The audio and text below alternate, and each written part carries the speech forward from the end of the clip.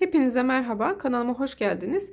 Bu videomda elimde kalan penye ipleri değerlendirerek ördüğüm, hazırladığım çantanın anlatımını yapacağım. Çantamızın bitmiş hali bu şekilde. Yanlardan görüntüsü. Ağız kısmı astarlı ve fermuarlı ve oldukça büyük bir çanta. Çantamızın boyutlarını da verirsek yaklaşık 26-27 santim boyutlarında çantamızı hazırladık. Şimdi ben bu rengimi daha önceden hazırlamıştım. Videoda sizlere farklı bir renginden anlatarak bu şekilde hazırladım. Tek tarafını diğer kısmını da hep birlikte örerek anlatımını yapacağım. Şimdi öncelikle elimde kalan penye ipleri değerlendirerek ben yapıyorum. Dilerseniz yani istediğiniz renk kombinlerinde iplerinizi hazırlayarak artan iplerden değil büyük bobinlerden de yapabilirsiniz. Şimdi renklerimizi hazırlarken iplerimizin boyutuna da dikkat ediyoruz. Daha büyük boyutta olan ipleri daha ileriki sıralarda kullanıyoruz ki e, modelimizi yaparken iplerimiz yarıda kalmasın. Küçük olan bobinleri ilk sıralarda yapıyorum. Daha büyük olan bobinleri daha büyük e, daha sonraki sıralarda kullanacağım için daha fazla ipim gerekecek. Yarıda kalmaması için büyük bobinlerimi daha ileriki sıralarda kullanacağım. Bu şekilde ben renk kombinlerimi hazırladım. Dilerseniz modelimizi böyle bırakıp supla da dekor amaçlı da kullanabilirsiniz, değerlendirebilirsiniz. Şimdi modelimizin anlatımına geçelim. Modelimde kullandığım tığım 7 numara. İpiniz kalınsa kalın ip daha büyük numara tığlar, ipiniz inceyse daha küçük numara tığlar kullanabilirsiniz. E, buradaki renk kombinlerimizi yaparken de iplerimizin kalınlıklarının yaklaşık olarak aynı boyutlarda olmasına dikkat etmenizi tavsiye ederim. Penye iplerde e, özel kesim olmadığı için standart bir kalınlık yok fakat bir renkte kullandığınız ipiniz çok ince, diğer renkte kullandığınız ipiniz çok kalınsa bu şekilde olmaz. Marullanmalar olur. Görüntü çok daha güzel olmaz. O yüzden iplerinizin kalınlıklarını yaklaşık birbirine denk olmasına dikkat edin renk kombinlerinizi yaparken. E, tarifimize geçmeden önce videomu beğenip kanalıma abone olursanız da çok memnun olurum. Şimdi modelimize başlayalım. Öncelikle şu orta göbek kısmından sihirli halka yaparak modelimize başlıyoruz. İpimi bu şekilde parmağımdan doluyorum. İlk defa yapacak olanlar varsa daha detaylı olarak anlatacağım. Sihirli ip yaparak, sihirli halka yaparak modelimize başlıyoruz. Tığımı altından geçirdim. ilmek aldım. 1 2 ve 3 tane zincirimi çektim. Tığıma ilmek alıyorum. Kısa kalan ipi elimizden bırakmıyoruz. Tığıma ilmek aldım. Halkanın içerisinden geçirdim. Karşıdan ilmek aldım. 1 2 3 3 ilmeğim var tığımda. ilmek aldım. İkisini bir çıkardım. 2 ilmeğim kaldı. ilmek aldım. İkisini bir çıkardım. İkili trabzanımızı yapmış olduk bu şekilde. Tığıma ilmek aldım. 3 ilmeğim var. ilmek aldım. İkisini bir ilmek aldım. İkisini bir çıkardım. Bu şekilde ikili trabzanlarımızı hazırlıyoruz. Oluşturduğumuz boşluktan kısa kalan ipimizi bırakmadan 3 zincir çekmiştik. Bu 3 zincirimizi de bir tane ikili trabzan sayarsak 1 2 3 4 tane ikili trabzan şu anda yaptık. Toplamda 12 tane ikili trabzan yapıyoruz. Zincirimizi de sayıyoruz. 11 tane ikili trabzan zincirimizi de saydığımızda toplamda 12 tane ikili trabzanımızı yapalım ve bir üst sıraya geçişini göstereceğim. Şimdi halkamızı bu şekilde oluşturduk. Burada kal arkada kalan kısa ipimizi çekerek şuradaki boşluğu kapatmaya çalışıyoruz. Eğer ipiniz çok incese çok fazla çekmeyin ipiniz kopar. Bu şekilde buradaki ortadaki boşluk kısmı kapattık. Şimdi bunun birleştirmesini yapacağız. Birleştirmesini yaparken e, şuradaki sıralı görüntünün devamını yapmayı e, görünmesini sağlamak istediğim için ipimi şu boyutlardan kesiyorum. Buradan kalan iplerimizle de püsküllerimizi hazırlayabiliriz. Kısa kalan ipimi içerisinden geçirdim. Şimdi birleştirmemizi yaparken Şurası 3 zincir çektiğimiz ve hemen yanında ikili trabzan yaptığımız nokta. Tığımla arka kısmından bu şekilde geçirdim. İpimi, kestiğim ipimi alıyorum. iç kısma. Şimdi şurada dikkat ederseniz V şeklinde sıralı takip eden görüntünün devamını sağlayacağız. İpimi arkaya çekmiştim. Şuradan içerisinden de geçirdiğimde şurada bakın tek olan ipim şu arkada hem şu tepe kısmından alıyorum hem ipimin tek olduğu boşluktan tığımı geçirdim. İpimi yine tığımın kancasıyla iç tarafa aldım ve biraz sıkıyorum. Bakın birleştirme yaptığımız noktamız şurasıydı. Diğerleriyle aynı görüntüye sahip olmuş oldu. Şimdi bu iplerimizi altından yürüterek hem açılmasını engelleyeceğiz hem de iç tarafında daha temiz bir görüntü olmasını sağlayacağız. Şimdi diğer rengimize geçiyoruz. Burada kullandığınız iplerde kalın olmamasını tavsiye ediyorum. Orta kalınlık olabilir, biraz daha ince olabilir. Kalın ipleri yaparsak çantamız daha da fazla ağırlaşacak. Şimdi ikinci renk ipimize geçelim. Burada arkaya aldığımız ipin olduğu kısımdayız. Şuradan tek kanadından tığımı geçirdim.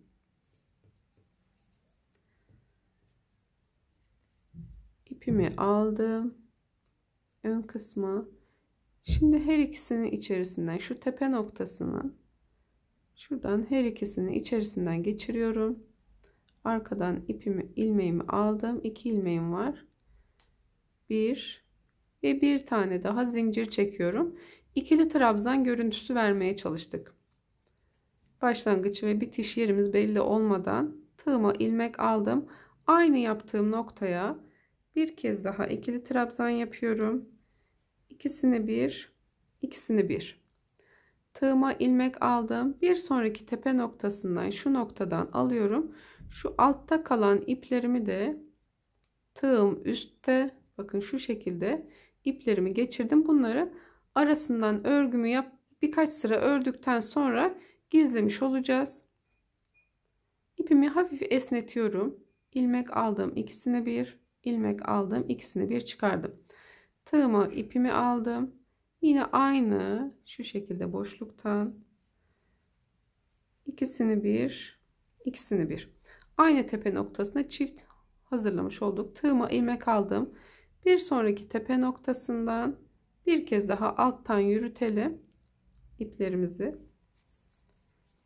İkisini bir, ikisini bir. ilmek aldım.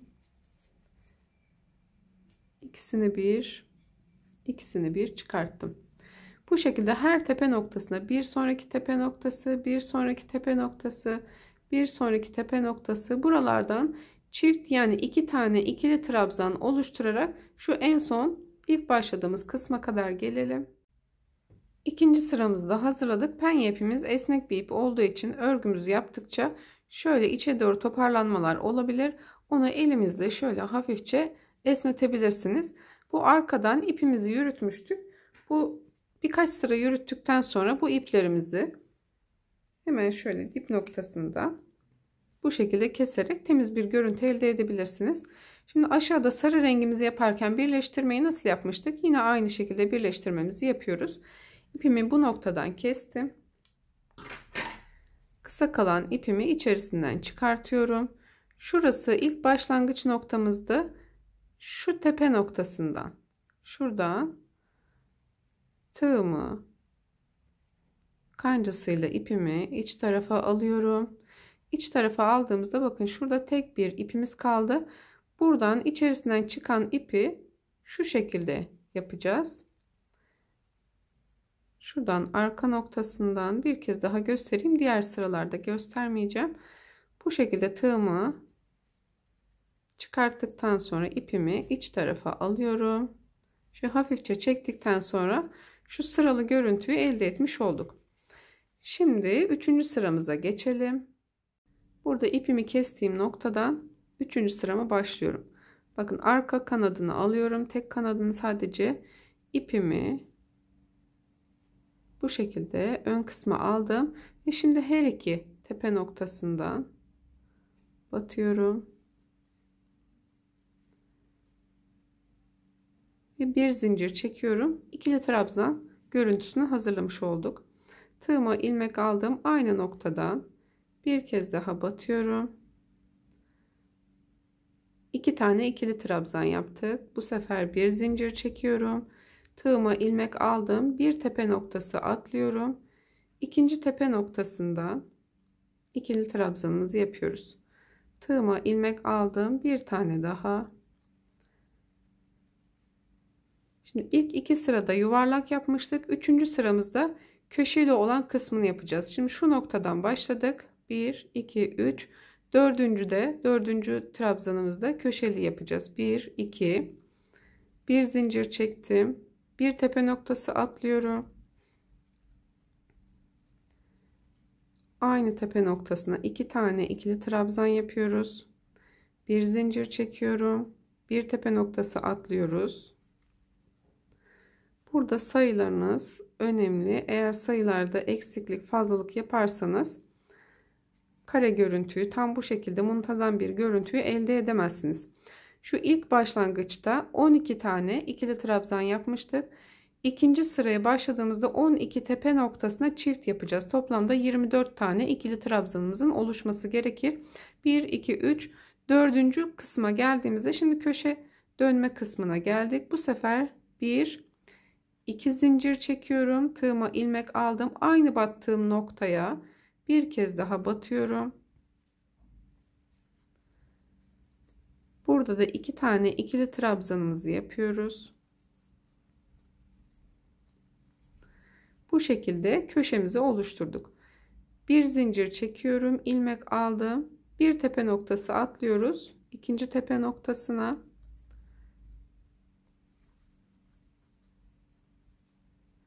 Aralarda bir zincir çekiyoruz. Köşe kısımlarına geldiğimizde iki zincir çekiyoruz. Şimdi biz şu noktadan başladık. İlk şu kısmını yaptık. 1, 2, 3. Dördüncüyü yaptığımız noktada köşemizi oluşturduk. 1, 2, 3. Dördüncüyü yaptığımızda köşemizi oluşturduk. Burada bunu da sayarsak şimdi şunu da 1, ikinci de 3 ve dördüncü yaptığımızda tekrardan köşemizi oluşturacağız. Yanına bir tane daha yapıyoruz. 1, 2, 3, dördüncüyü yaptığımızda köşemizi oluşturacağız. Bu şekilde şu köşe noktasına kadar ilerleyelim. Şimdi en son kısmımıza geldik. Buradaki köşemizdeki bir tanesini yapmıştık. En son ikili trabzanımı yaptıktan sonra bir zincir çektim. Aynı battığım noktaya yine iki tane ikili trabzan yapıyorum. Bu şekilde köşemizi oluşturduk ve bir 2 zincir çekiyoruz. Diğer birleştirmelerimizi nasıl yapmıştık? Yine aynı şekilde şu tepe noktasından ipimizi keserek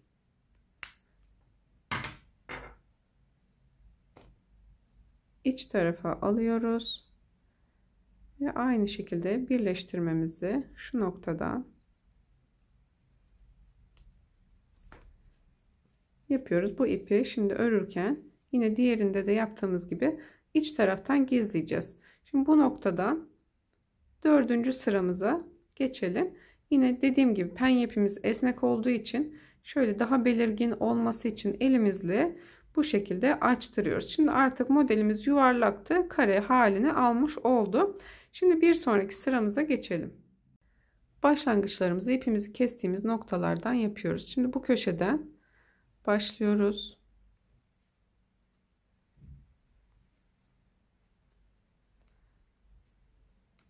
Bir zincir çekiyorum. İlk birinci ikili trabzanımızı yaptık. Bir tane daha ikili trabzan yapıyoruz. Köşemizin ilk kısmını yaptık. Şimdi bu sıramızı dönüp en son kısma geldiğimizde bir tane daha yaparak köşe kısmını oluşturacağız. Bir zincir çekiyorum. Tığıma ilmek aldım. Bu sefer tepe noktalarından değil şuralarda bir zincir çektiğimiz Boşluklardan ikili trabzanlarımızı yapıyoruz. İkisini bir, ikisini bir çıkardık. Bir zincir çekiyorum. Yine bakın şurada bir zincir çektiğimiz boşluklardan ikili trabzanlarımızı yapıyoruz. Bir zincir çekiyorum. Köşe kısmını da yine aynı şekilde yapacağız. O kısmı da göstereceğim. Bir zincir çekiyorum. ilmek aldığım köşeye iki zincir çektiğimiz boşluğumuza geldik. İkisini bir, ikisini bir. Köşelerde tekrardan köşe oluşturuyoruz. Bir, iki zincir çektim. Yine aynı noktadan iki tane daha ikili trabzan yapacağım. Bakın diğer köşeyi de üst sıradaki köşeyi de oluşturduk. Bir zincir çekiyoruz. Yine şurada boşluğumuza bir zincir çektiğimiz boşluğumuza iki tane ikili trabzanımızı yapıyoruz. Arada bir zincir çekerek diğer şu kısma geçişini yapacağız. Bu şekilde üst sırada da köşelerimizi oluşturalım. İlk başladığımız noktaya gelelim. Son sıraya geldiğimizde en son dördüncü köşemizi de aynı şekilde oluşturuyoruz. Bir zincir çektik. Aynı iki, iki trabzan yaptığımız noktaya iki tane daha ikili trabzanımızı hazırlıyoruz. Ve köşelerde bir iki zincir çekiyoruz. Burada bağlama noktası için ipimi yine bu şekilde kesiyorum. Aynı bağladığımız şekilde bu sıramızda da bağlıyoruz. Şimdi şu noktayı tekrar şu şekilde arkadan geçireceğim. Ve bu şekilde dördüncü sıramızı da tamamlamış oluyoruz. Şimdi şu yan kenar kısımlarına geçiyoruz. Eğer modelinizi daha büyük yapmak isteyebilirsiniz. Penye ip değil daha farklı bir ip kullanırsanız model daha küçük olacaktır. Daha da büyütmek isterseniz yaptığımız mantık her seferinde aynı. Şu köşelere geldiğimizde yine köşe oluşturuyoruz. İki zincir çekerek köşeleri oluşturuyoruz. Aradaki şu birer zincir çektiğimiz noktaları yine iki tane ikili trabzan yapıyoruz. Bu şekilde istediğiniz boyuta gelene kadar modelinizi örebilirsiniz. Şu an daha küçük. Kenar sıralarını geçtiğimizde birleştirmesini yaptığımızda çantamız daha büyük boyutlara ulaşacak. E, modelinizi yaparken de örgünüzü ben bir parçasını hazırlamıştım videoda göstermek adına. Örgünüzü yaparken örneğin sarı rengi yapıyorsunuz. iki tane bu şekilde hazırlayın. İpiniz daha sonra bir parçasını yaptıktan sonra diğer parçada ipiniz az kalmışsa yetmezse boşuna örmüş olursunuz. O yüzden ilk sırayı ikisini birlikte pembeye geçtiğimizde ikisini birlikte üçüncü sıraya geçtiğimizde her iki motifi de birlikte örürseniz eğer ipiniz yetmezse renginizi değiştirip farklı bir renk tercih yapabilirsiniz. Daha sonradan e, sıkıntı olmaması adına bu şekilde örmenizi tavsiye ederim. Şimdi buradaki birleştirmeyi de yaptıktan sonra en son şu kenar kısımlarına geçelim. Şimdi en son kısmına geliyoruz. Burada yine ipimi şöyle kısa bir şekilde bıraktım.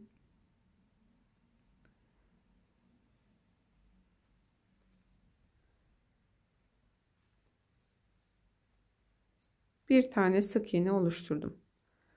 Aynı boşluktan bir tane daha yapıyorum. Ve ikili trabzanımızın tepe noktasından bir tane sık iğne oluşturuyoruz. Diğer ikili trabzanımızın tepe noktasından bir tane sık iğne. Şu bir zincir çektiğimiz boşluktan bir tane sık iğne ikili trabzanlarımızın tepe noktasından bir tane sık iğne yaparak bu sıramızı bu şekilde ilerleteceğiz. Tepe noktalarından birer tane sık iğne, aradaki boşluklara birer tane sık iğne. Şu köşede başlarken iki tane sık iğne başlayarak yaptık. En son kısmına geldiğimizde bir tane daha sık iğne yapacağız. Şimdi şu köşe kısmını da tekrardan göstereceğim arttırma yapmıyoruz. Her tepe noktasının üzerine bir tane şu köşede iki tane zincir çekmiştik. Bu kısımlardan üç tane sık iğne yapıyoruz.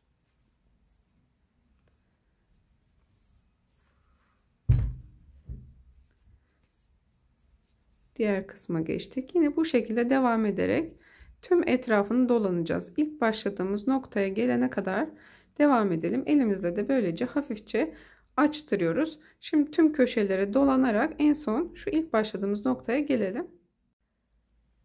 Sık iğnelerimizi yaparak ilk başladığımız noktaya geldik. İlk başladığımız noktada iki tane sık iğne yaparak başlamıştık. Köşelerde toplam 3 tane sık iğne yapıyoruz. Son bir tane sık iğnemi daha yaparak buradaki sayıları eşitliyoruz. Şimdi dilerseniz bu boyutta da bıraktıktan sonra birleştirmeyi yapabilirsiniz. Ben bir sıra daha etrafından dönüşünü yapacağım. Burada sıramızı nasıl birleştiriyoruz? Tığımı ilk başladığım sık iğnenin tepe noktasından aldım. İç kısma şu tek çizgi olan yerden tığımı geçiriyorum. Arkadaki ilmeği aldım.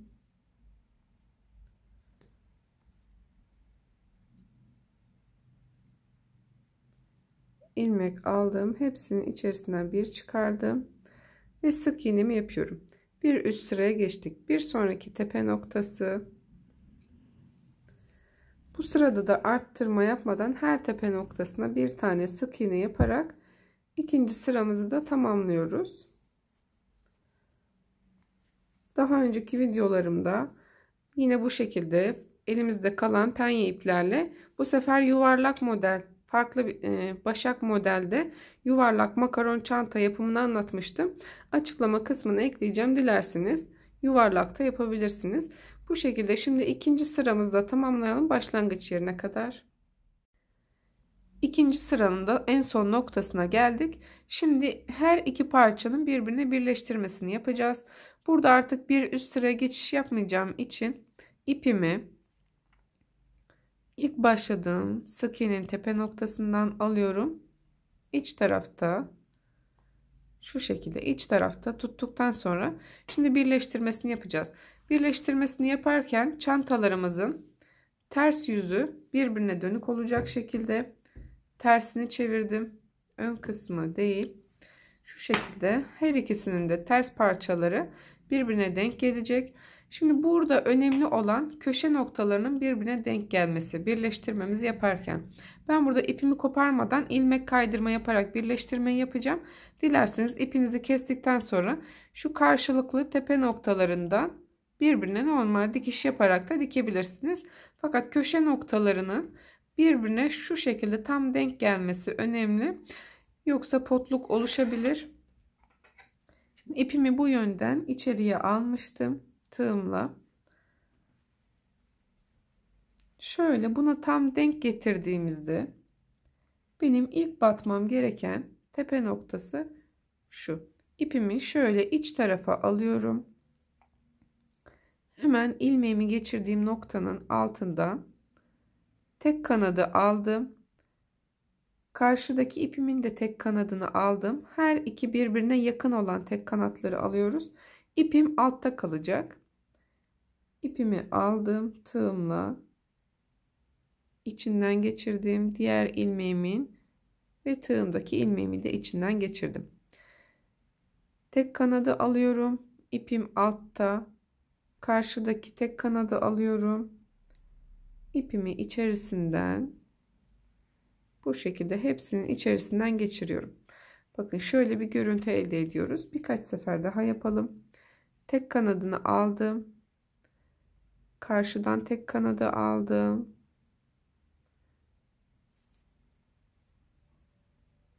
ipimi hepsinin içerisinden geçiriyorum.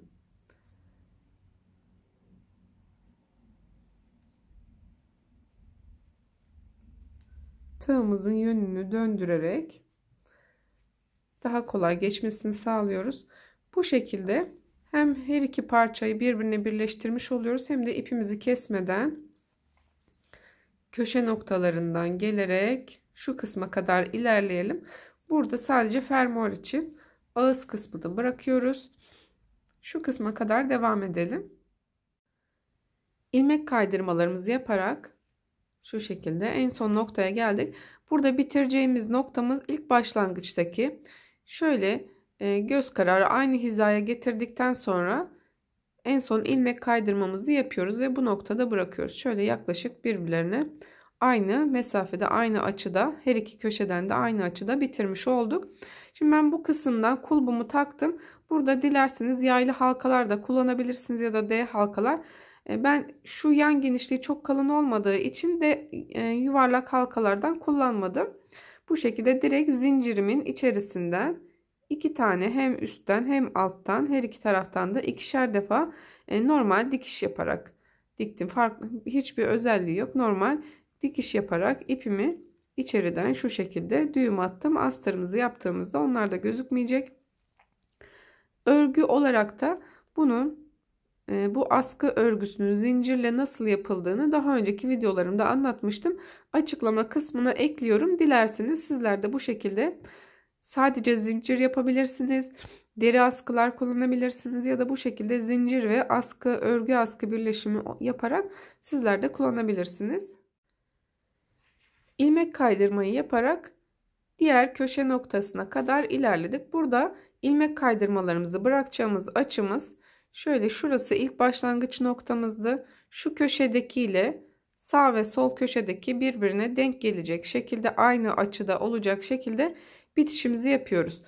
Bu noktadan ben zincirimi bu şekilde diktim. Çantamın yan genişliği kalın olmadığı için dilerseniz burada e, kancalı yuvarlak halkalarda kullanabilirsiniz ya da D halkalarda.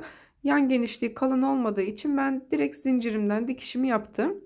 Hem üstten hem alttan sağ ve soldan ikişer defa dikişimi yaparak ipimizi iç taraftan bu şekilde gizleyerek normal dikiş yapıyoruz. Bunun hiçbir özelliği yok. Hepiniz yapabilirsiniz. Burada sadece zincir kullanabilirsiniz ya da deri askılar kullanabilirsiniz. Ben zincir ve örgünün birleşimini bu şekilde yaptım. Daha önceki videolarımda zincirimizden örgümüzü nasıl yaptığımızı detaylı olarak anlatmıştım. Bitiş kısmında yine aynı şekilde anlatmıştım. Onu açıklama kısmına ekliyorum. Dilerseniz örgü askı yapmak isteyenler varsa zincir ve örgü askı yapımını için diğer videomdan detaylı olarak seyredebilirsiniz.